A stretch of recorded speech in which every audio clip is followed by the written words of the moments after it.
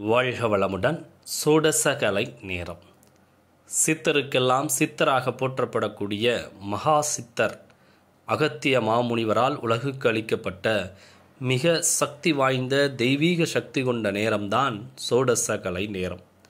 நீங்கள் நினைத்தது எதுவாக இருந்தாலும் நினைத்ததை நினைத்தபடி அடையச் செய்யக்கூடிய ஒரு அற்புதமான நேரம்தான் இந்த சோடசகலை நேரம். அகத்திய மாமுனிவர் தன்னுடைய பாடல் மூலமாக உலகுக்கு அளித்த மாபெரும் ஒரு கொடைதான் இந்த சோடசகலை நேரம். தன்னுடைய பாடல் தேவியின் பூர்வ புச்ச பூர்வாவிதி பதினாறு என்ற பாடல் மூலமாக உலகுக்கு வழங்கியிருக்கிறார். சோடச கலை நேரம் என்றால் என்ன? இந்த சோடச கலை நேரத்தை எப்படி பயன்படுத்துவது?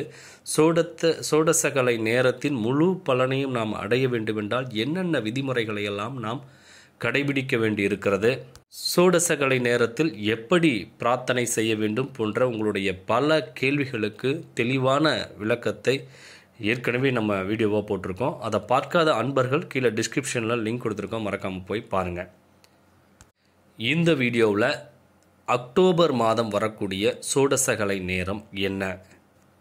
அக்டோபர் மாதம் பதினான்காம் தேதி சனிக்கிழமை இரவு பத்து ஐம்பத்தி ஏழு மணிலிருந்து பன்னிரெண்டு ஐம்பத்தி ஏழு மணி வரைக்கும் சோடசகலை நேரம் இருக்குது அடுத்ததாக பார்த்தீங்கன்னா அக்டோபர் மாதம் இருபத்தி ஒன்பதாம் தேதி ஞாயிற்றுக்கிழமை காலை ஒன்று இருபத்தி ஏழு மணியிலிருந்து மூன்று இருபத்தி ஏழு மணி வரைக்கும் இருக்குது அதாவது அதிகாலையில் இருக்குது நள்ளிரவுன்னு சொல்லலாம் அதிகாலைன்னு சொல்லலாம். அந்த நேரத்தில் இருக்குது இந்த இரண்டு நேரங்களுமே சோடசகலை நேரம். இந்த இரண்டு மணி நேரத்தில் ஒரு ஐந்து நொடி பொழுதுகள் மட்டும்தான் அந்த சோடசகலை நேரம் வரும். அது எக்ஸாக்டாக நம்மளால் சொல்ல முடியாது. அது சித்தர்களுக்கு மட்டும்தான் தெரிந்த பரம ரகசியம். நாம் இந்த இரண்டு மணி நேரத்தை சரியானபடி பயன்படுத்தி அந்த நேரம் முழுவதுமே நீங்கள் பிரார்த்தனையோடு இருந்தீங்க அப்படின்னா நீங்கள் நினைத்தது நினைத்தபடி நடக்கும். அதில் எந்த விதமான சந்தேகமும் இல்லை. சித்த மகாபுருஷர் அகத்தியர் மாமுனிவர் தன்னுடைய பாடல் மூலமாக சொல்லியிருக்கார். இதை பயன்படுத்தி உங்களுடைய வாழ்க்கையில் அனைத்து பிரச்சனைகளிலிருந்தும் விலகி ஒரு செல்வ வளமான ஆரோக்கியமான சந்தோஷமான நிம்மதியான வாழ்க்கையை வாழுங்க.